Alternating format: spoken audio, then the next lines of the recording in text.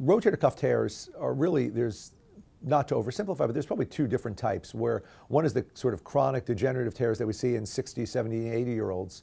At the other end of the spectrum are these partial thickness rotator cuff tears that, that overhand athletes get. And that's swimmers, baseball players, volleyball players, where the rotator cuff just based on how hard it has to work during these repetitive overhand motions, uh, just starts to get beaten up and, and starts to fray and partially tear the rotator cuff tears that we see in, in overhand athletes, such as volleyball players, swimmers, baseball players, are, are oftentimes related to a, a mechanical issue, and, and that mechanical issue is, is the overhand motion. So throwers have to put their arm, you know, sort of way back to throw. Swimmers are putting their arm in that same position. Volleyball players, when they're serving, they're putting their arm, you know, sort of way behind their head, and then trying to accelerate it very quickly, and then it has to stop very quickly also. So to do that, it's really the rotator cuff that's that's kind of the powerhouse of the shoulder, and it sees the most stress. So they really need that to be firing perfectly. They need all the other muscles around the shoulder, the, the, all the muscles that attach to the scapula, even the core, lower extremity, all these things have to be firing sort of in concert perfectly to minimize the stress of the shoulder to prevent these injuries from occurring.